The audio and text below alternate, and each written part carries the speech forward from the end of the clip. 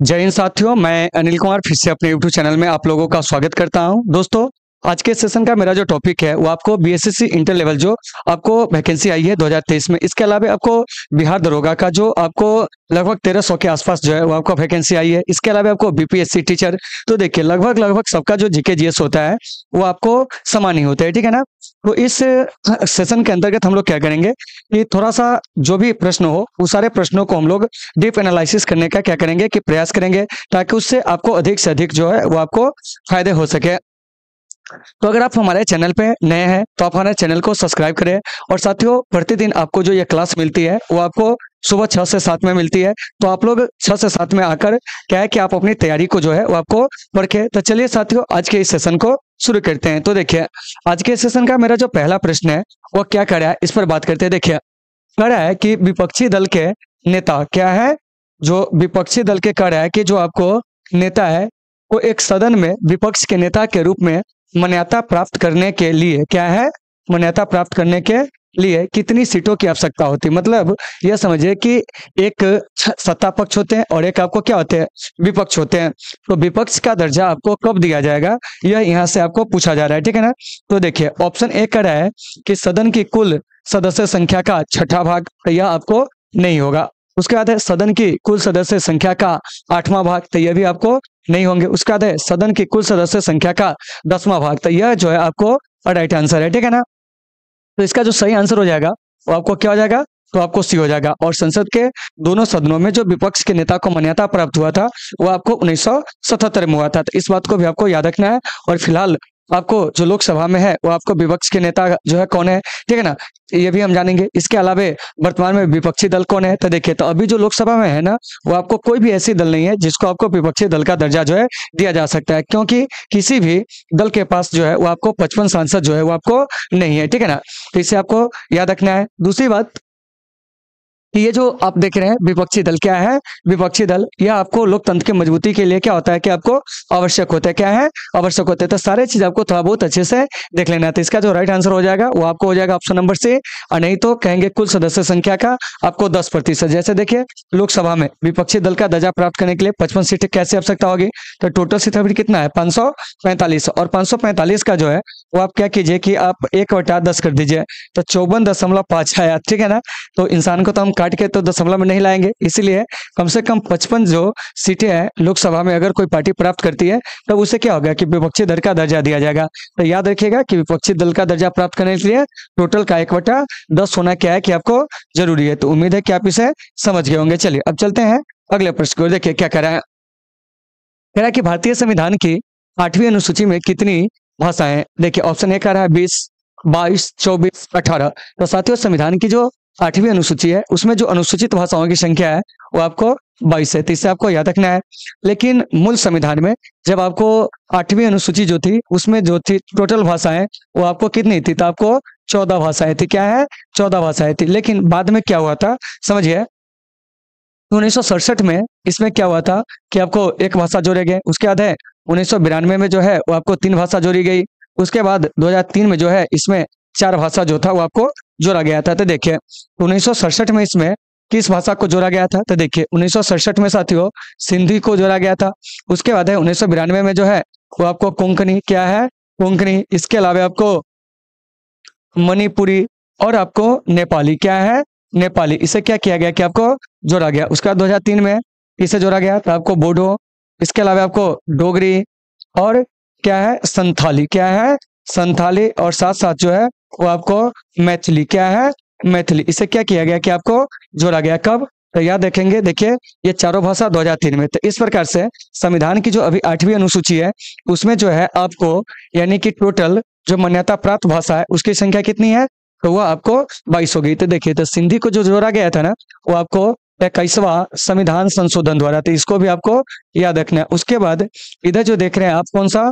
कोंकणी मणिपुरी नेपाली। इसे जो जोड़ा गया था, वह आपको इकहत्तरवें संशोधन के द्वारा तो इसे भी आपको याद रखना। और इधर जो हो गया आपको, यानी कि 1900 कितना है? सॉरी, उन्नीस सौ कह रहे हैं कि 2003 में जो संविधान संशोधन हुआ था वो आपको बिरानवा संविधान संशोधन और इसी संशोधन द्वारा क्या था कि आपको संविधान में जो है वो आपको, यानी कि जो आठवीं अनुसूची है, उसमें चार भाषा को जोड़ा गया था। तो कभी कभी ऐसे प्रश्न भी आपके एग्ज़ाम में पूछ लिए जाते हैं तो आप इसे बढ़िया से याद रखोगे। तो दो का जो राइट आंसर हो जाएगा, वो आपको ऑप्शन नंबर सी हो जाएगा। और आपको समझ में आ रही है या नहीं आ रही है, आप लोग कमेंट करके ज़रूर बताओगे। चलिए, अब हम चलते हैं तीन में क्या कर रहा है, इस पर चर्चा करते हैं। देखिए, कह रहा कि भारत का पहला चंद्र अभियान, ठीक है ना?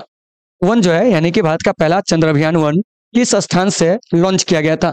देखिए ऑप्शन ए कह रहा है बालासोर, श्रीहरिकोटा, तिरुवनंतपुरम व्हीलर द्वीप तो देखिए तो ये जो आप देख रहे हैं भारत का पहला चंद्रयान वो आपको 22 अक्टूबर। क्या है कि आपको 2008 को क्या हुआ था कि आपको श्रीहरिकोटा से जो था वो आपको लॉन्च किया गया था तो इससे भी याद रखना, बाईस अक्टूबर कितना? तो आपको 2008 और इस समय जो आपको क्या थे कि इसरो के डायरेक्टर थे, वो आपको कौन थे? ये भी पूछा जाएगा। तो देखिए, चंद्रयान वन के समय जो इसरो के डायरेक्टर थे साथियों, वो आपको जी माधवन नायर थे, ठीक है ना? जी माधवन क्या कहेंगे? तो आपको नायर। फिर यहाँ से बात आती है कि चंद्रयान टू जो है, इससे कब लॉन्च किया गया था? तो देखिए, चंद्रयान टू को जो लॉन्च किया गया था, वो आपको 22 जुलाई 2000 कितना को? तो आपको उन्नीस को। और ये जो चंद्रयान थ्री है इसे जो लॉन्च किया गया था 14 जुलाई क्या है? चौदह जुलाई 2023 को। अब आइए, अब हम यहाँ पे भी जान लेते हैं कि इस समय इसरो के डायरेक्टर कौन थे। तो देखिए, चंद्रयान टू के समय जो इसरो के डायरेक्टर थे, वो आपको के सिवन थे। या के सिवान थे, इन्हीं को कहते हैं। और के सिवान को हम लोग क्या कहते हैं? तो भारत में रॉकेट मैन ऑफ़ इंडिया के नाम से जानते हैं। और ये जो है, चंद्रयान थ्री के समय इसरो के डायरेक्टर वो आपको एस सोमनाथ थे। तो साथियों, इन सभी चीज़ों को आपको अच्छे से क्या करना है कि आपको याद रखना है। फिर यहाँ से एक चीज़ आप और याद रख सकते हो कि चंद्रयान वन की जो लागत थी, वह क्या थी? तो देखिए तो चंद्रयान वन की जो लागत थी वो आपको तीन सौ छियासी करोड़ रुपए, ठीक है ना? उसके बाद है, चंद्रयान दो का जो लागत था, वो क्या था? तो देखिए तो इसका लागत था नौ सौ अठहत्तर करोड़। क्या है? नौ सौ अठहत्तर करोड़। तो इसे भी आपको याद रखना है, ठीक है ना? देखिए, हम इधर लिख दे रहे हैं, है ना? यहाँ पे जगह नहीं बच रही सही से। तो देखिए, यहाँ पे देख लीजिएगा, चंद्रयान टू का लागत कितना?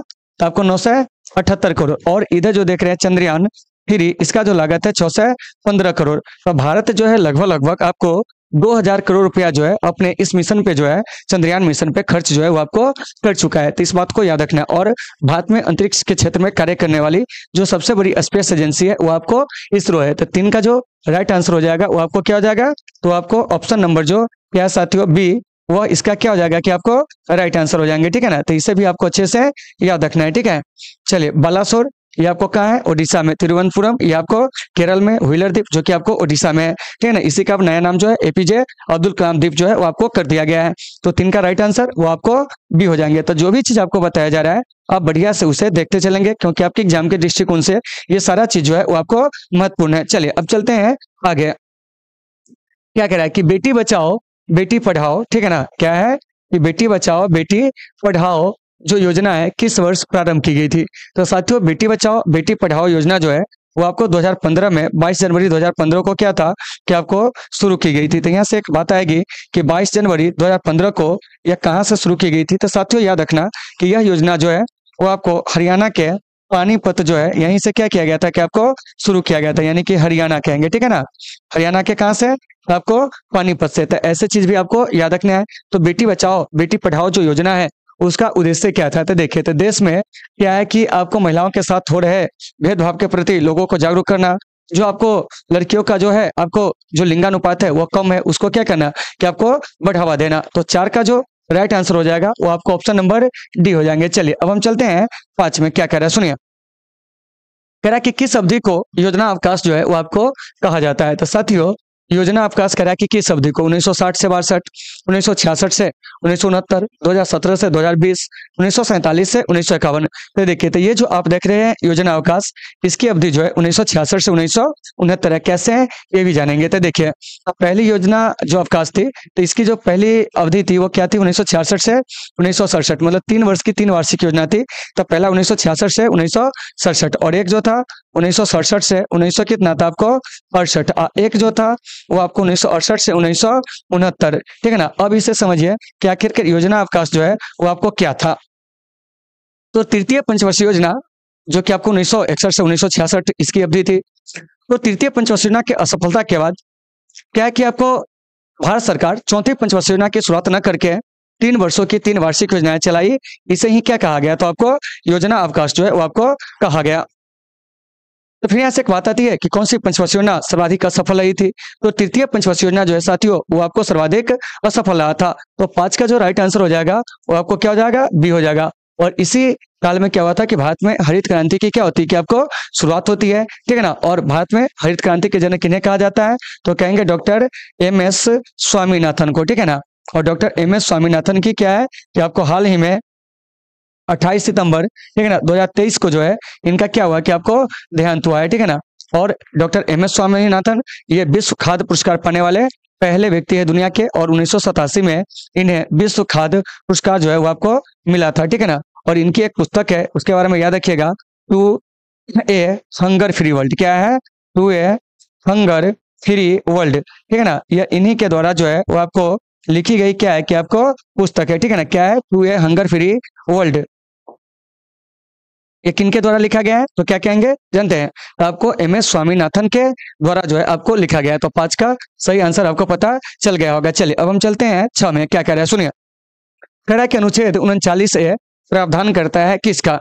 तो देखिए ऑप्शन ये कह रहा है कि ग्राम पंचायत का जो गठन है इसका, ये नहीं है। समान न्याय तथा निशुल्क विधिक सहायता तो सही आंसर इसका ये हो जाएगा। ठीक है ना? फिर यहाँ से बात आती है नागरिकों के लिए समान नागरिक संहिता। तो इसका जो उल्लेख कहा है? तो हम कहेंगे आर्टिकल कितना में जानते हैं? तो आपको यानी कि चौवालीस में क्या है?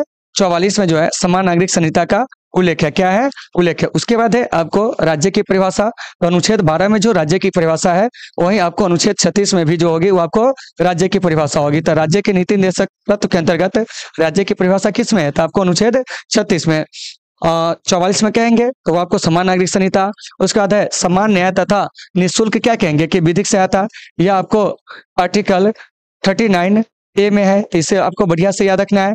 और उसके बाद है, ग्राम पंचायत का क्या कहेंगे कि आपको संगठन। तो इसकी जो चर्चा है ना, वो आपको आर्टिकल चालीस में है तो इस सब बात आपको याद रखना है। तो ये जो देख रहे हैं, अनुच्छेद उनचालीस ए, इसको जो है, संविधान में कब जोड़ा गया था? तो इसे जो है वह आपको उन्नीस सौ छिहत्तर में जोड़ा गया था, किस संविधान संशोधन के द्वारा? तो याद रखिएगा, इसे जो है साथियों संविधान संशोधन कहेंगे तो बयालीसवा संविधान संशोधन द्वारा इसे क्या हुआ था कि आपको जोड़ा गया था? तो इस सभी चीज़ को आपको अच्छे से याद रखना है। तो कभी कभी प्रश्न पूछ लिए जाते हैं और बयालीसवां संविधान संशोधन होता है उन्नीस सौ छिहत्तर में। इसे जो है आपको लघु संविधान जो है आपको बयालीसवां संविधान संशोधन को कहा जाता है। तो छह का जो राइट आंसर हो जाएगा, वो आपको ऑप्शन नंबर क्या हो जाएगा? तो आपको बी हो जाएगा। उम्मीद है कि आपको ये सारे चीज़ समझ में आ गए होंगे। चलिए, अब हम चलते हैं साथ में क्या कर रहा है इस पर चर्चा करते हैं देखिए यहाँ।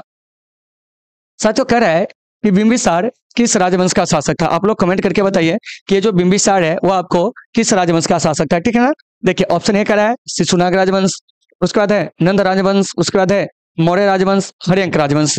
तो देखिए तो इसका जो राइट आंसर हो जाएगा ना, वो आपको हरियक वंश हो जाएगा। तो देखिए तो कम से कम हम यहाँ पे क्या करते हैं कि मगध पे जो शासन करने वाले जो वंश है, उनका नाम हम क्रम से लिख देते हैं, ये सब आपके एग्ज़ाम में आएँगे। तो देखिए तो सबसे पहले हम बात करते हैं मगध पे शासन करने वाले वंश में वो जाएगा आपको हरियंक वंश, ठीक है ना? उसके बाद जो जाएगा साथियों वो आपको शिशु नागवंश क्या है? शिशु नागवंश देखिए, सबका नाम जो है आपको याद रखना है। उसके बाद जो है, वो आपको क्या हो जाएगा? वो हो जाएगा आपको नंदवंश उसके बाद, नंद वंश के बाद अगर हम बात करते हैं, चौथा वंश जो था, वो आपको कौन था? तो ये आपको मौर्य वंश। और मौर्य वंश के बाद जो है साथियों, वो आपको कौन है? तो सुंग वंश तो कम से कम इस पाँच का नाम जो है, आपको अच्छे से याद रखना है। तो साथियों, यहाँ से एक प्रश्न आपसे पूछे जाएँगे। क्या है? पूछे जाएँगे। क्या जानते हैं? ये जो हरिंक वंश है, इसके संस्थापक कौन थे? इसके संस्थापक साथियों, बिंबी सार थे। उसके बाद है शिशुनाग वंश। इसके संस्थापक कौन थे? तो कहेंगे आपको शिशुनाग थे। उसके बाद है आपको नंदवंश इसके संस्थापक कौन थे? तो आपको महापदम नंद जो थे, इसके क्या थे? कि आपको संस्थापक थे? मौर्य वंश के संस्थापक कहेंगे।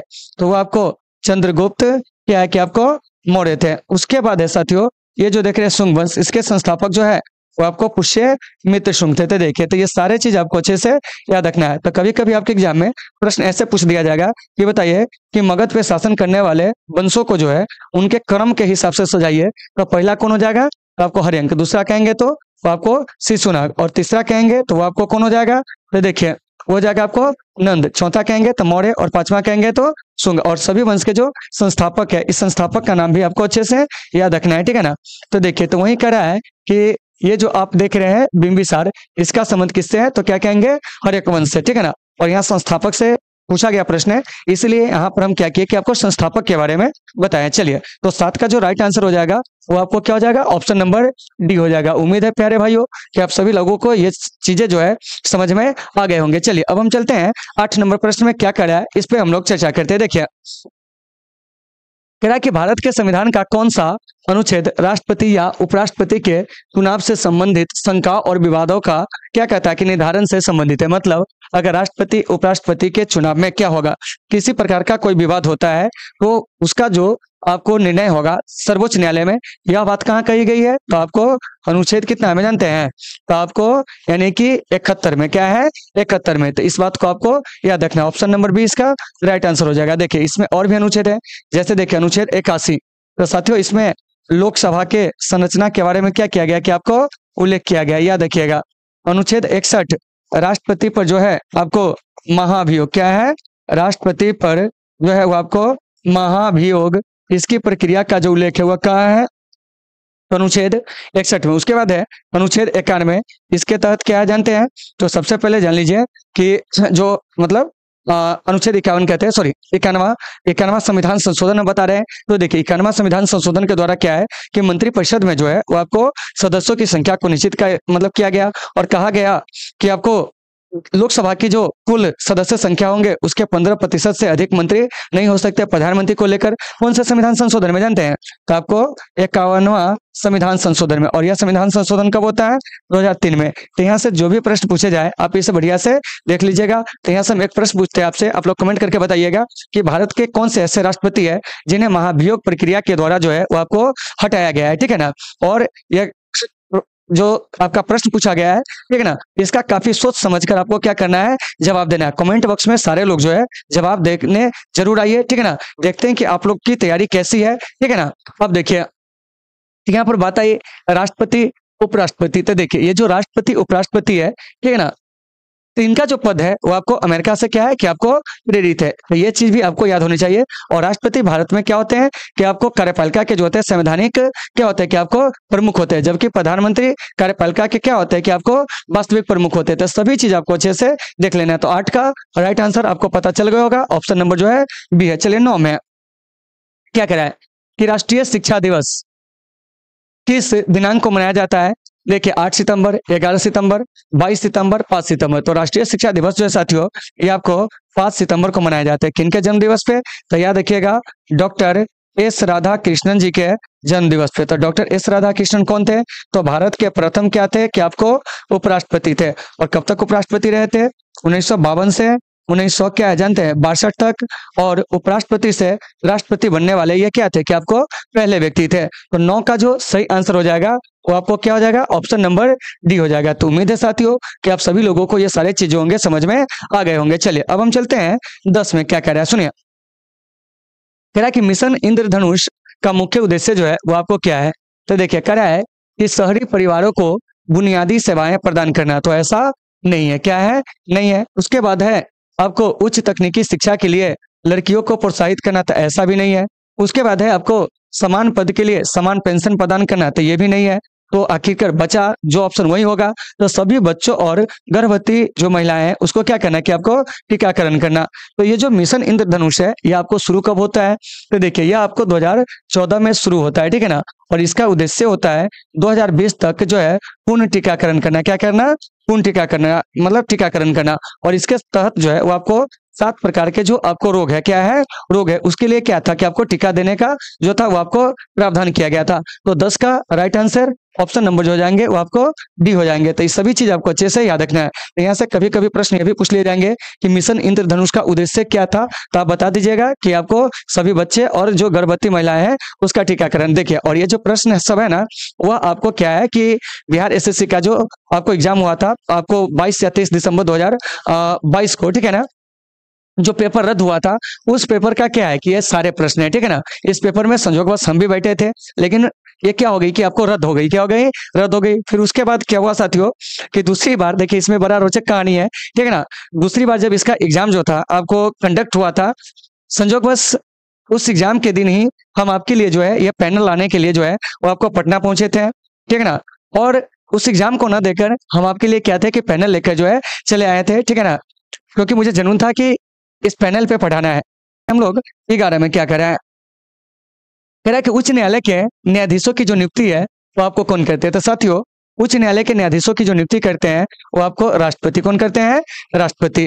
तो याद रखिएगा कि अनुच्छेद 214 से 231 में जो है, वो आपको उच्च न्यायालय के संदर्भ में जो है, वो आपको चर्चा की गई है। तो इस बात को आपको याद रखना है। तो अभी भारत के राष्ट्रपति है कौन? वो कहेंगे कौन? जानते हैं? श्रीमती द्रौपदी मुर्मू, बिहार के राज्यपाल कहेंगे। तो आपको राजेंद्र विश्वनाथ लेकर भारत का जो मुख्य न्यायाधीश है अभी, वो आपको डीवाई चंद्रचूड़ है, ठीक है ना? तो ये सभी चीज़ आपको अच्छे से याद रखना है। और उच्च न्यायालय का मुख्य न्यायाधीश का है तो सभी राज्यों के उच्च न्यायालय के मुख्य न्यायाधीश अलग अलग लोग होंगे। तो देखिए तो सबसे पहले याद रखिएगा कि हमारे बिहार में, यानी कि पटना उच्च न्यायालय कब स्थापित होता है? तो ये आपको उन्नीस सौ सोलह में कितना स्थापित होता है? उन्नीस सौ सोलह में। साथियों, एक चीज़ याद रखिएगा कि भारत में सबसे पहले उच्च न्यायालय कहाँ स्थापित हुआ था? तो ये आपको कलकत्ता में। उसके बाद जो है, याद रखिएगा मद्रास मद्रास के बाद जो हो जाएगा, वो आपको बम्बई क्या है? बम्बई ठीक है ना? तो देखिए तो इन तीनों जगह पे उच्च न्यायालय जो स्थापित होता है वो आपको 1800 कितना में जानते हैं? तो आपको बासठ में। तो इन चीज़ों को याद रखिएगा।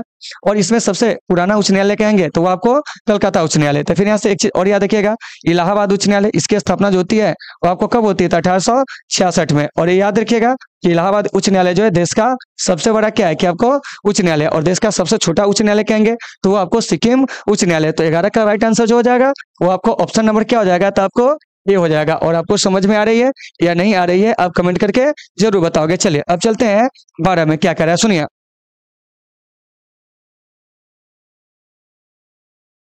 देखते हैं कि आपको समझ में आ रही है या नहीं आ रही है। इस पर हम लोग चर्चा करेंगे। तो देखिए तो सबसे पहले आप लोग क्या करेंगे, इसका जो आंसर है, आप स्वयं देने का प्रयास कीजिए।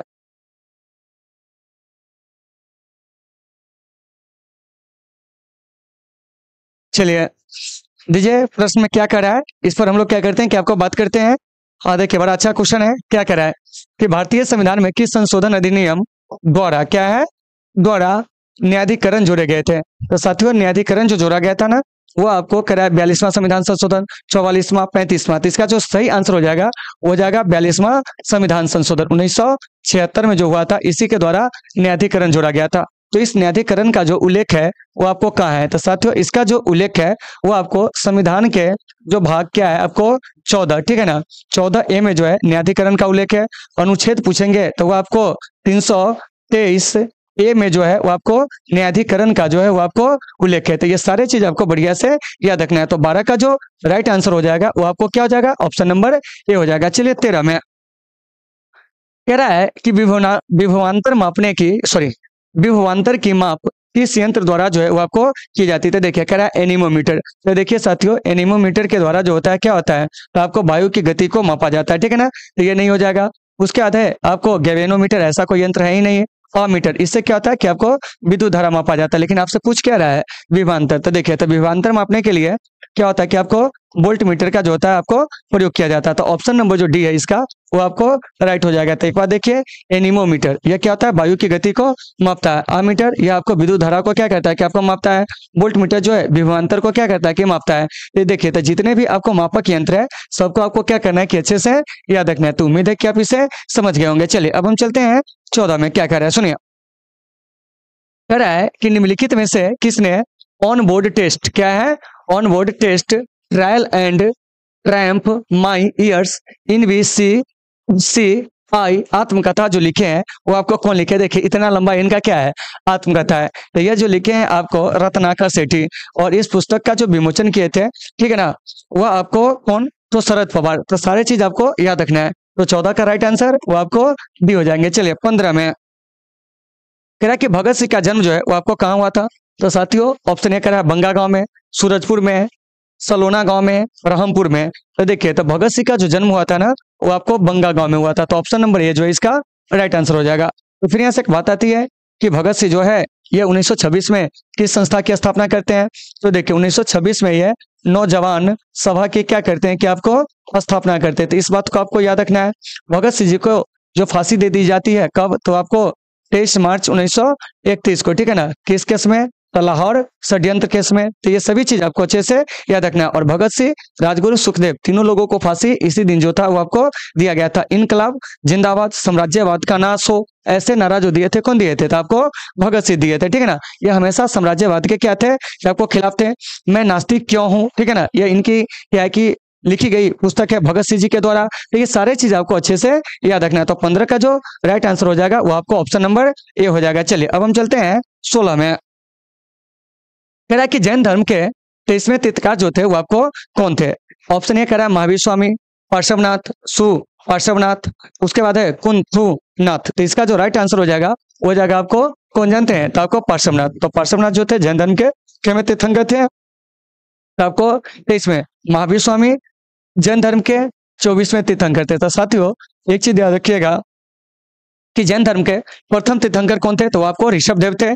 और जैन धर्म के चौबीसवें वन थे महावीर स्वामी। और महावीर स्वामी को जैन धर्म का जो है, वो आपको वास्तविक संस्थापक जो होता है, वो आपको माना जाता है। तो सारे चीज़ आपको अच्छे से याद रखना है। तो सोलह का राइट आंसर वो क्या हो जाएगा? ऑप्शन नंबर जो आपको बी है, वो आपको बिल्कुल सही है। और जैन धर्म का उदय जो होता है हमारे भारत में, छठी शताब्दी ईसा पूर्व में होता है, ठीक है ना? जब आपको ब्राह्मण धर्म में जो कुरुतियाँ होती है, उसी कुरुति के खिलाफ होती है।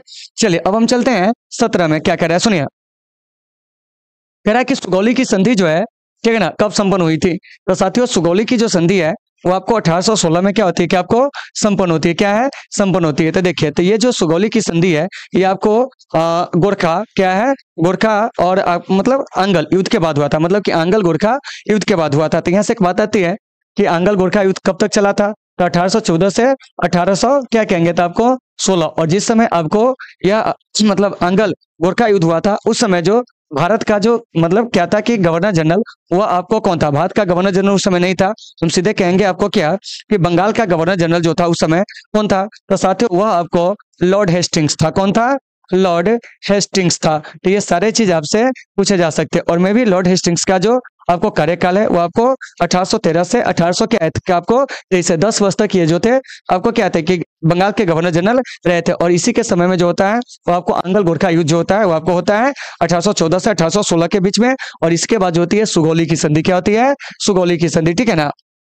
और अंगल गोरखा युद्ध के बाद ही जो होता है, वो आपको शिमला जैसे पर्यटन नगर जो होते हैं, वो आपको स्थापित किए जाते हैं। तो सत्रह का राइट आंसर वो आपको बी हो जाएँगे। चलिए, अठारह में। और आपको समझ में आ रही है या नहीं आ रही है आप कमेंट करके ज़रूर बताएँगे। देखिए पहले, जो है इस प्रश्न का जो है आप आंसर बताइए क्या कह रहा है। देखिए कह रहा है कि राष्ट्रीय खेल दिवस जो है वो आपको कब मनाया जाता है? ऑप्शन ए कह रहा है आपको 25 अगस्त 25 सितंबर 29 अगस्त 29 सितंबर। तो देखिए तो राष्ट्रीय खेल दिवस जो है साथियों वो आपको 29 अगस्त को मनाया जाते हैं। किन के जन्म दिवस पर तो कहेंगे मेजर ध्यानचंद जी के जन्म दिवस पे। मेजर ध्यानचंद जी किस खेल के खिलाड़ी थे? तो हॉकी के खिलाड़ी थे याद रखना है। इनकी आत्मकथा जो है, गोल है। क्या है? गोल है, द गोल। ठीक है ना? उसके बाद एक चीज़ और याद रख सकते हैं कि मेजर जो आपको क्या है ध्यानचंद जी, ठीक है ना? ये आपको ओलंपिक में जो है, कई ओलंपिक में हिस्सा लिए और उसमें जो है, भारत जो है, आपको गोल्ड मेडल जीतने में क्या रहे थे कि आपको कामयाब रहे थे। और एक चीज़ याद रखिएगा कि ओलंपिक खेलों में अगर भारत सबसे अधिक अगर स्वर्ण पदक जीता हुआ है, वो आपको हॉकी में ही जीता हुआ है, ठीक है ना? तो अठारह का राइट आंसर जो हो जाएगा, वो आपको ऑप्शन नंबर बी हो जाएगा। चलिए, उन्नीस में कह रहा है कि निम्न से कौन सा देश सार्क का सदस्य नहीं है? तो देखिए साथियों, सार्क के सदस्य देश को याद रखने के लिए आपको हम एक छोटा सा ट्रिक बताए थे। अगर वो ट्रिक याद होगा तो यह भी आसानी से बन जाएगा। देखिए, बताए थे क्या कि श्री क्या बताए थे? श्री भाभू ने क्या किया जानते हैं? कि बाप का माल। किसका माल? बाप का माल। किसको दे दिया बताइए थे तो देखिए श्री भाभू ने बाप का माल जो है, वो आपको अफ़गानिस्तान को दिया। किसको दिया? अफ़गानिस्तान को दे दिया। देखिए, क्योंकि ये बाबू जो है ना, इसका अपना माल था नहीं, बाप का माल था, वो किसको दे दिया? अफ़गानिस्तान को। तो देखिए तो यहाँ से हम इसको कैसे याद रख सकते थे? देखिए तो ये जो देख रहे हैं, सी तो श्री से हो जाएगा आपको श्रीलंका, याद रखिएगा। उसके बाद है भा से भारत, भू से हो जाएगा भाइयों, भूटान। क्या है? भूटान, ठीक है ना? देखिए, कैसे आपको याद रखना है। न से हो जाएगा आपको नेपाल। क्या है? नेपाल। देखिए, सब इसमें दक्षिण एशिया के देश है, ठीक है ना? उसके बाद बाद से हो जाएगा आपको बांग्लादेश। उसके बाद है फ से ये हो जाएगा आपको पाकिस्तान। और क जो है मेरे भाई, वो तो आपको क्या रहेगा? साइलेंट और माल से हो जाएगा आपको मालदीप तो देखिए तो इस प्रकार से सार्क में जो आपको सदस्य देश है, उसकी संख्या कितनी है? आठ है। इसमें से पूछ रहा है कि कौन सार्क का सदस्य नहीं है? अफ़गानिस्तान मालदीप मॉरिशस, श्रीलंका। तो देखिए, अफ़गानिस्तान है तो देखिए, अफ़गानिस्तान है, बिल्कुल सही है। देखिए, उसके बाद कह रहा है आपको क्या? मॉरिशस इसमें कहीं भी ढूंढिए, आपको मॉरिशस जो है, वो आपको नज़र नहीं आएँगे। उसके बाद है आपको श्रीलंका तो श्रीलंका भी है। देखिए, उसके बाद है अफ़गानिस्तान। तो अफ़गानिस्तान हो गया, मालदीव, देखिए, मालदीव भी है तो कौन नहीं है? मॉरिशस नहीं है। तो इसका राइट आंसर क्या हो जाएगा? ऑप्शन नंबर सी हो जाएगा। तो उम्मीद है कि आपको सारे चीज़ होंगे, समझ में आ गए होंगे, ठीक है ना? और सार्क जो है, क्या तो कहेंगे यह दक्षिण एशियाई देशों का एक संगठन है और इसका गठन कब होता है? तो आपको सता मतलब सात से आठ दिसंबर उन्नीस पचासी को इसका गठन होता है और इसका जो मुख्यालय है, वो आपको कहा है, जानते हैं? तो आपको काठमांडू में। तो ये सभी चीज़ बढ़िया से देख लेना तो उन्नीस का सही आंसर वो आपको सी हो जाएगा। चलिए बीस में। क्या कह रहा है कि गन्ने का प्रति हेक्टेयर उत्पादन की दृष्टि से कौन सा राज्य प्रथम स्थान रखता है? तो देखिए, गन्ने का सबसे अधिक जो प्रति हेक्टेयर उत्पादन होता है ना, वो आपको तमिलनाडु में कहा होता है? तमिलनाडु में। और सीधे पूछेंगे कि गन्ना का सबसे ज़्यादा उत्पादन कहाँ होता है? तो आपको उत्तर प्रदेश में। लगभग भारत के तैतालीस प्रतिशत गन्ना का उत्पादन अकेले उत्तर प्रदेश करता है, ठीक है ना? चीनी का सबसे ज़्यादा उत्पादन कहाँ होता है? तो आपको महाराष्ट्र में। यहाँ से जैसे भी प्रश्न पूछा जाए, आप इसे देख लीजिएगा। और गन्ना जो है क्या है? तो आपको एक नकदी फ़सल है। कैसा फ़सल है? नकदी फ़सल है, ठीक है ना? तो इन सभी चीज़ों को देख लेना है। दलहन का सबसे बड़ा उत्पादक अगर राज्य पूछेंगे तो आपको मध्य प्रदेश और मध्य प्रदेश को हम लोग क्या कहते हैं, जानते हैं? तो आपको भारत का दिल कहते हैं। तो बीस का राइट आंसर, वो आपको क्या हो जाएगा? तो आपको डी हो जाएगा। देखिए, और ये सभी 2000 आपको 22 में जो सीजीएल का एग्ज़ाम हुआ था, उसी का क्या है कि आपको पूछा गया प्रश्न और हाल फ़िलहाल जो है, आपको सीजीएल थ्री का जो है, वो आपको क्या हुआ कि मेंस का रिज़ल्ट जो है, वो आपको घोषित हुआ है, ठीक है ना? तो जितने भी लोग इसमें पास हुए हैं, उन सभी लोगों को ढेर सारी शुभकामनाएँ। चलिए, अब चलते हैं इक्कीस में। और देखो भाई, और ये जो बिहार एसएससी है, ठीक है ना? इसके वैकेंसी एक तो बहुत दिन बाद आती है, ठीक है ना? आप लोग थोड़ा सा शिद्दत से क्या करेंगे, किसकी तैयारी करेंगे? देखिए, क्या कह रहा है कि भारत के संविधान का अनुच्छेद एक किससे संबंधित है? तो देखिए, भारत के संविधान का जो अनुच्छेद है, एक वो आपको राज्यपाल के रूप में नियुक्ति के लिए जो योग्यता है मतलब कि राज्यपाल बनने के लिए क्या योग्यता होगी? ठीक है ना? उस योग्यता के बारे में जो उल्लेख है वो आपको एक में तो फिर यहाँ से बात आती है कि सर राज्यपाल की नियुक्ति जो है, कौन करते हैं? तो राज्यपाल की नियुक्ति जो है, राष्ट्रपति करते हैं कौन करते हैं? राष्ट्रपति किस अनुच्छेद के तहत करते हैं। तो याद रखिएगा, अनुच्छेद एक सौ कितना के तहत आपको पचपन के तहत तो इसी बात पे आप लोगों को कमेंट करके बताना है कि बिहार के प्रथम राज्यपाल कौन थे? और साथ साथ वर्तमान में बिहार के राज्यपाल कौन है? यह दोनों क्वेश्चन का आंसर जो है, आपको कमेंट बॉक्स में देना है। तो इक्कीस का राइट आंसर जो हो जाएगा। वो आपको ऑप्शन नंबर सी हो जाएगा। चलिए बाईस में क्या कराए राष्ट्रीय मानवाधिकार आयोग, क्या है? राष्ट्रीय, ठीक है ना? मानवाधिकार, क्या कहेंगे, जानते हैं? आपको आयोग, यानी एन एच आर सी क्या है? आर सी यानी कहने का मतलब नेशनल ह्यूमन राइट्स कमीशन का अध्यक्ष किसे नियुक्त किया जाता है? तो सबसे पहले जान लीजिए कि ये जो एनएचआरसी है, इसका गठन कब हुआ था? उन्नीस सौ आपको कितना में आपको तिरानवे, बारह अक्टूबर उन्नीस सौ तिरानवे को संसद के एक अधिनियम द्वारा इसकी क्या होती है? स्थापना होती है। तो इसके जो अध्यक्ष नियुक्त किए जाते हैं ना, याद रखिएगा, उच्चतम न्यायालय के जो आपको सेवानिवृत्त मुख्य न्यायाधीश होते हैं, वही क्या होते हैं कि आपको नियुक्त किए जाते हैं।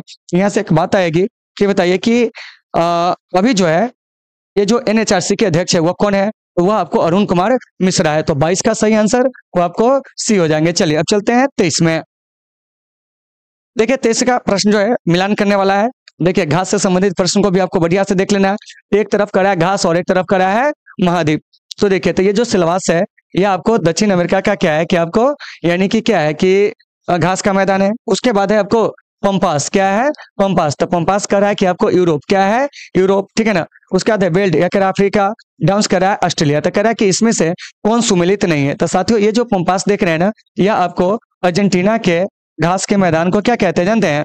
तो आपको पंपास कहते हैं। और अर्जेंटीना जो है वो आपको दक्षिण अमेरिका का एक देश है, क्या है? एक देश है। तो इसका जो आपको राइट आंसर हो जाएगा, वो आपको ऑप्शन नंबर बी हो जाएगा। तो ये सब चीज़ आपको अच्छा से याद रखना है। जैसे डाउन पूछेंगे कहाँ के? ऑस्ट्रेलिया बेल्ड तो आपको अफ्रीका पंपास पूछेंगे अर्जेंटीना सिलवास कहेंगे, दक्षिण अमेरिका। तो ये सारी चीज़ आपको अच्छे से याद रखना है और उम्मीद है कि आपको ये सभी चीज़ समझ में आ गए होंगे। चलिए, अब हम चलते हैं चौबीस नंबर प्रश्न में क्या करा है, इस पर चर्चा करते हैं। देखिए, कह रहा है कि निम्न घटनाओं का यथाक्रम सही क्या होगा? इस पर हमको क्या करना है कि आपको चर्चा करना है। तो देखिए, इसमें आपको कई सारे ऑप्शन जो है, वो आपको दिए गए। इस पर हम लोग बात करते हैं। जैसे देखिए, पहला की बात करते हैं, लखनऊ समझौता। यह कब होता है? उन्नीस सोलह में। साथियों, लखनऊ समझौता कब होता है? यह देखिएगा यह आपको उन्नीस सोलह में। देखिए, सबका मिलान करते चलेंगे। असहयोग आंदोलन, यह कब होता है? 1920 में। जैसे जैसे दे रहा है, देख रहे सही है या नहीं है।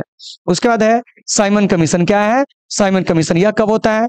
तो यह आपको साइमन कमीशन उन्नीस सौ अट्ठाइस में आती है, सविनय अवज्ञा आंदोलन। कब? तो आपको उन्नीस तो देखिए कर रहा है कि निम्न घटनाओं का यथाक्रम जो होगा, सही क्या होगा? मतलब कि सही क्या होगा? यह हमको क्या कहना है कि आपको समझना है, ठीक है ना? तो देखिए, अगला कह रहा है असहयोग आंदोलन। यह कब होता है? यहाँ से देख लेते हैं, उन्नीस सौ बीस में। साइमन कमीशन अट्ठाईस में। उसके बाद है लखनऊ समझौता 1916 में। उसके बाद है सविनय अवज्ञा आंदोलन। यह उन्नीस सौ तीस में तो देखिए तो इसका जो है, कोई क्रम है ये नहीं है। तो ऑप्शन नंबर बी तो ऑलरेडी पहले ही गलती है। उसके बाद है मुस्लिम लीग की स्थापना। यह आपको उन्नीस सौ छह में रोलेक्ट एक्ट उन्नीस सौ उन्नीस में। क्या है? उन्नीस सौ उन्नीस में। बंग भंग आंदोलन 1905 में। देखिए, और नेहरू रिपोर्ट यह कब आती है? 1928 में। तो देखिए तो इस वक्त का भी कोई क्रम जो है, वो आपको नहीं है। तो ये भी ऑप्शन क्या हो जाएगा? गलत हो जाएगा। उसके बाद देखिए रोलेक्ट एक्ट उन्नीस उन्नीस, उसके बाद है लखनऊ समझौता 1916 उसके बाद है सविनय अवज्ञा आंदोलन 1930 नेहरू रिपोर्ट 1928 तो देखिए, इसका भी कोई क्रम जो है नहीं है। तो इसका जो राइट आंसर हो जाएगा, वो क्या हो जाएगा जानते हैं? तो आपको यानी कि क्या कहेंगे जानते हैं? ऑप्शन नंबर ए क्योंकि देखिए, पहले लखनऊ समझौता होता है, फिर असहयोग आंदोलन, फिर आपको साइमन कमीशन भारत आता है, फिर आपको सविनय अवज्ञा आंदोलन। तो इसका right answer option number A हो जाएँगे। इसीलिए साथियों ऑप्शन नंबर ए को आप क्या कर लीजिए? टिक कर लीजिए, ठीक है ना? ये जो वाला ऑप्शन है, वो आपको बिल्कुल क्या है कि आपको सही है। उम्मीद है कि आप इसे समझ गए होंगे। चलिए, अब हम चलते हैं पच्चीस में क्या करा है, चर्चा करते हैं। देखिए, कह रहा कि किस घटना से हट होकर रविन्द्रनाथ टैगोर ने क्या किया था कि आपको नाइटहुड की उपाधि जो थे लौटा दिए थे?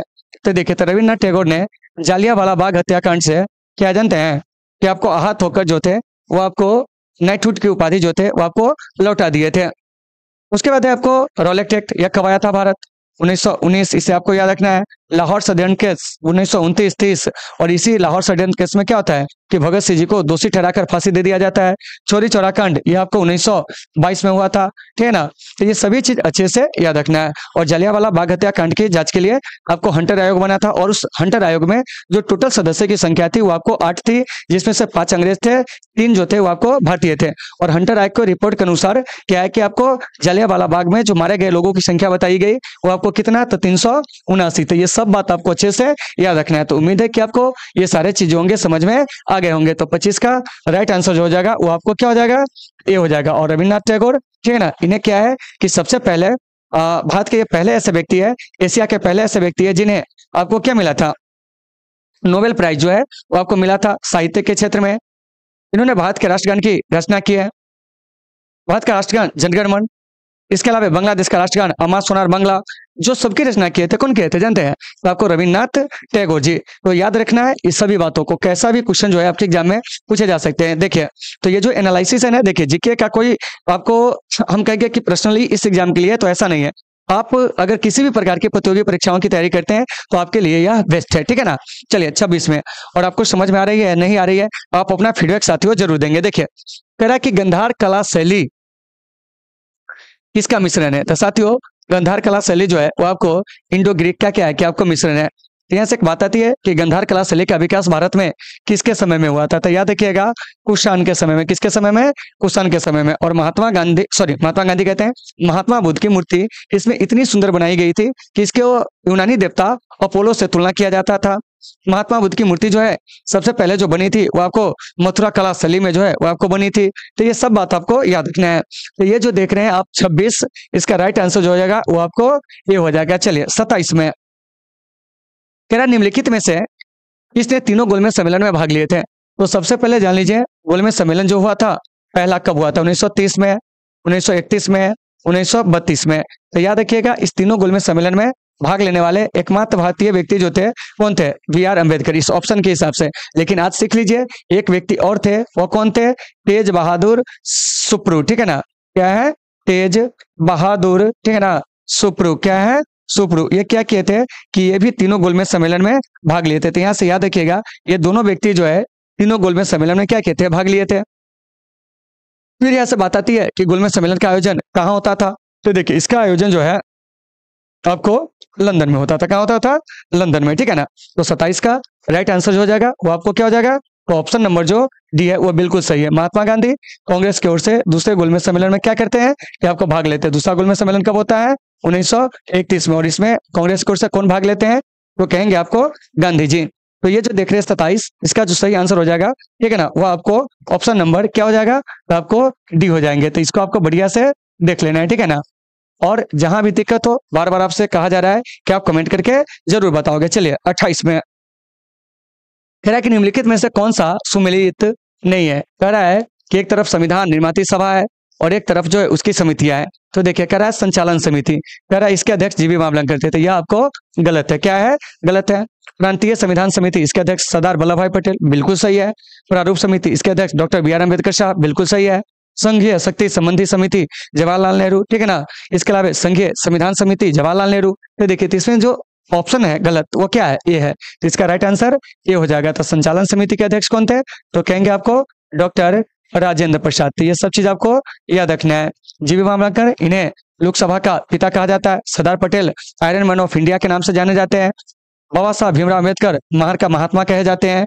जवाहरलाल नेहरू अराम हराम जैसे नारा दिए थे। तो अट्ठाईस का राइट आंसर जो हो जाएगा, वो आपको ऑप्शन नंबर जो ए है, वो आपको बिल्कुल सही हो जाएँगे। चलिए, अब चलते हैं उनतीस में क्या कह रहा है। सुनिए। कह रहा है कि किस प्रधानमंत्री द्वारा तिहत्तरवा संविधान संशोधन विधेयक लोकसभा में प्रस्तुत किया गया था? तो देखिए तो तिहत्तरवा संविधान संशोधन जो है, वो आपको उन्नीस में क्या हुआ था कि आपको मतलब कि लाया गया था। ठीक है ना? किसके द्वारा? तो आपको पीवी नरसिम्हा राव की सरकार के द्वारा। ठीक है ना? और पीवी नरसिम्हा राव क्या है कि आपको पहले ऐसे गैर कांग्रेसी क्या है कि परिवार के व्यक्ति है, जो आपको पाँच साल तक क्या रहे थे कि आपको प्रधानमंत्री रहे थे? पीवी नरसिम्हा राव भारत में नई आर्थिक नीति शुरू करने के लिए जाने जाते हैं। भारत में जो है, आपको नई औद्योगिक नीति आती है, उस समय भी आपको पीवी नरसिम्हा राव ही क्या होते हैं कि आपको प्रधानमंत्री होते हैं। तो ये सब आपको अच्छे से याद रखना है। तो उनतीस का राइट आंसर हो जाएगा, वो आपको बी हो जाएगा। ये जो तिहत्तरवा संविधान संशोधन है यह कब हुआ था? उन्नीस में, ठीक है ना? लेकिन यह आपको लागू कब होता है? चौबीस अप्रैल, कितना को जानते हैं? उन्नीस सौ मतलब तिरानवे को। और इसीलिए चौबीस अप्रैल को क्या होता है कि आपको भारत में राष्ट्रीय पंचायती राज दिवस जो होते हैं, वो आपको मनाए जाते हैं। तो उनतीस का सही आंसर आपको पता चल गया होगा। राजीव गांधी सबसे युवा प्रधानमंत्री भारत के। चंद्रशेखर इन्हें युवा तुर्क के नाम से कांग्रेस में जाना जाता था। बीपीसी मंडल आयोग के सिफारिशों को क्या कहते कि आपको लागू किए थे। तो जितने भी चीज़ आपको बताए जा रहे हैं, सबको आपको याद रखना चलिए, तीस में। क्या कह रहा है? कह रहा है कि कौन सा गैस हंसाने वाली गैस के रूप में जानी जाती है। देखिए ऑप्शन कर रहा है, इनमें से कोई नहीं, उसके बाद कर रहा है कार्बन डाइऑक्साइड ठीक है ना? नाइट्रस ऑक्साइड सल्फ़र डाइऑक्साइड तो इसका जो राइट आंसर हो जाएगा ना, वो आपको नाइट्रस ऑक्साइड तो ऑप्शन नंबर जो सी है, वो बिल्कुल सही है। सल्फ़र डाइऑक्साइड देखिए, ये जो है आपको बारिश के लिए क्या होते हैं, अम्लीय बारिश के लिए जाने जाते हैं, ठीक है ना? तो तीस का जो आपको सही आंसर हो जाएगा, वो आपको नाइट्रस ऑक्साइड हो जाएँगे। तो साथियों, यहाँ से क्या है कि जितने भी गैस से संबंधित क्वेश्चन होंगे, उसको आपको बढ़िया से देख लेना है। तो आज हम लोग क्या किए कि मतलब क्लास दस के अंतर्गत हम लोग तीस एमसीक्यू जो प्रश्न है, उसका हम लोग एनालिसिस कर लिया ठीक है ना? तो चलिए साथियों, आज के इस क्लास को हम लोग यहीं पे विराम देंगे। मिलेंगे आपसे कल एक बेहतर क्लास के साथ। और अगर आप लोगों को क्लास अच्छी लगती हो तो आप लोग अपने दोस्तों में भी इसे अधिक से अधिक शेयर करेंगे। धन्यवाद।